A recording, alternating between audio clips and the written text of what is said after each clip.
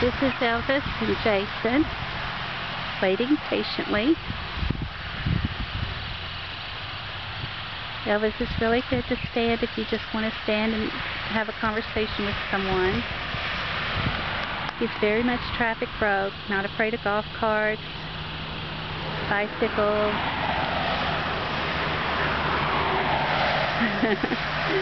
He's just really a great, great horse.